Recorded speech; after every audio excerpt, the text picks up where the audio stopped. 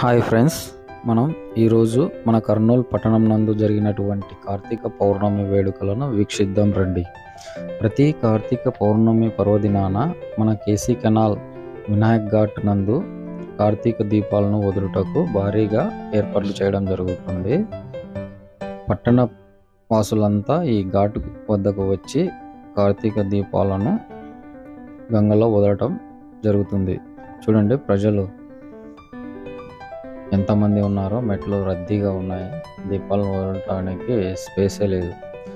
ప్రతి సంవత్సరము ఈ కల్కి భగవాన్ సేవా సమితి వారు ఇక్కడికి వచ్చినటువంటి భక్తులకు కార్తీక దీపాలను అయితే ఫ్రీగా ఇవ్వడం జరుగుతుంది. మేము కూడా ఇక్కడ దీపాలను తీసుకొని కేసుకినాల దగ్గరకు వచ్చి దీపాలను వదలడం అయితే జరిగింది. కార్తీక మాసంలో వచ్చే పౌర్ణమి హిందువులకు ఎంతో పవిత్రమైన దినం. ఇది మహాశివరాత్రితో సమానమైన పుణ్యదినం కావున దీనిని దేవ దీపావళి అని కూడా అంటారు. దీపావళి తరువాతి దినం నుండి కార్తీక మాసం మొదలవుతుంది. కార్తీక మాసం ముగిసే వరకు కూడా ప్రతిదినం దీపాలను వెలిగించడం జరుగుతుంది.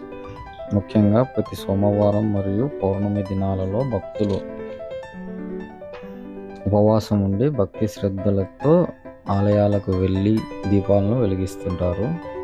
ఈరోజు కార్తీక పౌర్ణమి కావున సాయంకాలం గంగలో దీపం వెలిగించడం జరుగుతుంది. కార్తీక పౌర్ణమి అటు శివునికి ఇటు విష్ణుమూర్తికి కూడా ప్రియమైన రోజు. ఈ రోజు వెలిగిస్తే మనం తెలిసి తెలియక చేసినటువంటి పాపాలన్నీ హరించుకుపోతాయని నానుడి. ఈ కార్తీక సోమవారాల్లో కార్తీక పౌర్ణమి రోజున శివుడికి రుద్రాభిషేకం చేస్తే మంచిది. ఈ విశిష్ట దినాన సత్యనారాయణ వ్రతం చేసుకోవడం కూడా చాలా శ్రేష్టకరం.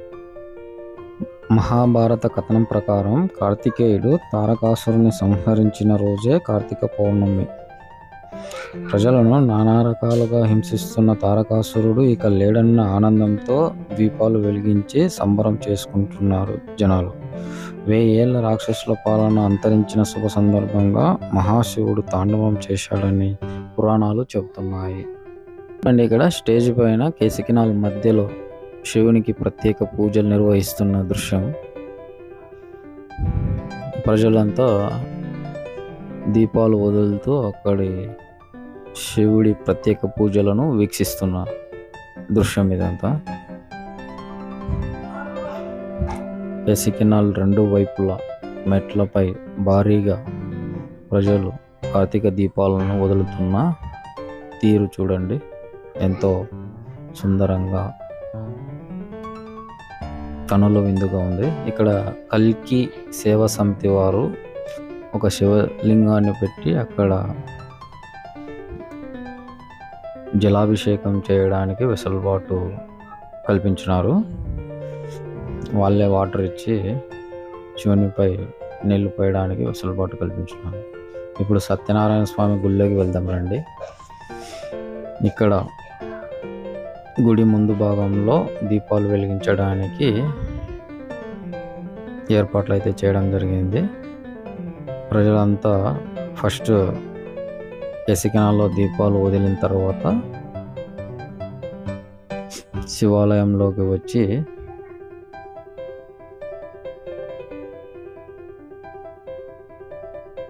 శివాలయం సత్యనారాయణ స్వామి గుడి.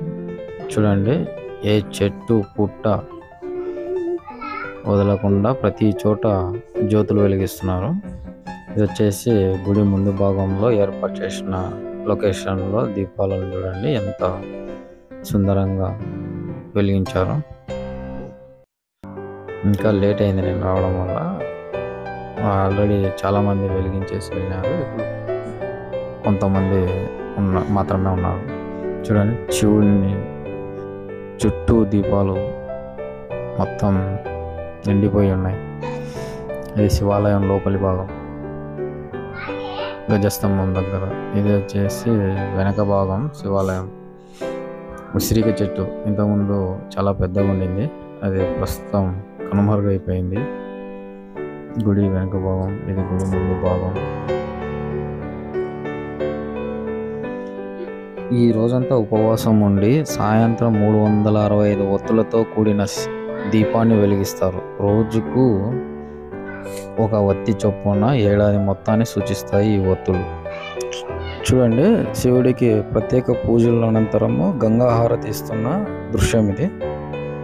కెసికెనాల్ మధ్య భాగంలో ఉండి గంగాహారతి ఇస్తున్న వేద పండితులు రకరకాల హారతులతో గంగాహారతిని ఇస్తున్నారు. తర్వాత టపాసులు పేల్చున్నారు. కార్తీక మాసంలో అత్యంత విశిష్టమైన అంశం జ్వాలాతోరణం.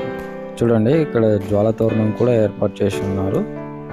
ఈ జ్వాల తోరణాన్ని నెయ్యి వేసి ఒత్తులు అంటిస్తారు. దాని కింద మూడు సార్లు మనం అటు ఇటు తిరిగితే చాలా సుఖప్రదం. ఇది వచ్చేసి ఆకాశంలోకి జ్యోతుల్ని పంపిస్తున్న దృశ్యం. ఓకే ఫ్రెండ్స్ ఈ వీడియో నచ్చినట్టయితే లైక్ అండ్ సబ్స్క్రైబ్ ప్లీజ్.